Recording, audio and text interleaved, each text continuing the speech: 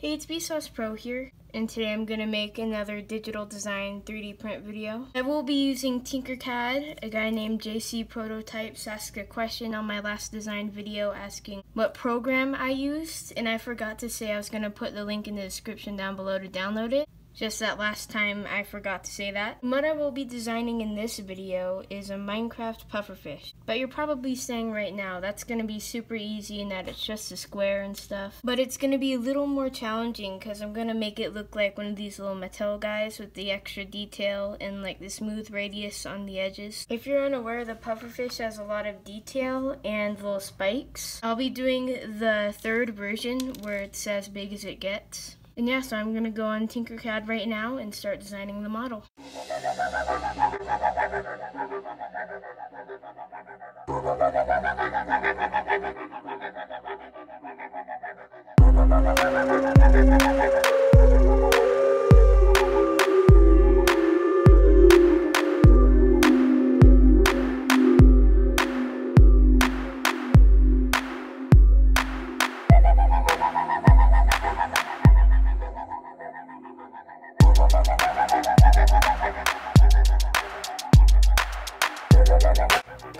Okay, so I have finished the model and now I'm gonna bring it into FlashForge.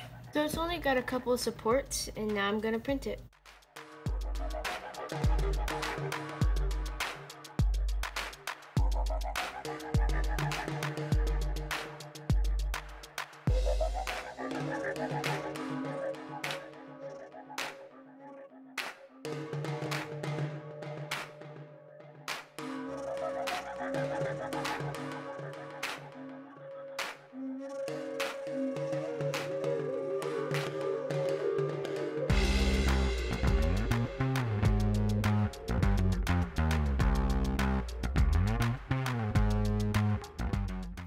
So the model finished printing and I'm to take off the stilts. So it's about the same size as the Guardian because it's sort of hard to size these things, but the model came out really great. Like my video before, you need the scalpel, the tweezers, and the pliers.